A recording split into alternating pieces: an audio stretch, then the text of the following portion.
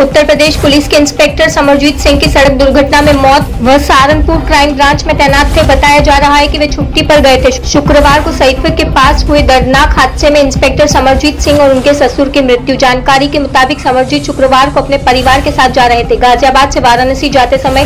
सैफई के पास एक सड़क दुर्घटना हुई इसमें समरजीत के साथ साथ उनके ससुर की भी घटनास्थल पर मौत हो गई रेजा कार में पत्नी और दो बच्चे सहित पाँच लोग सवार थे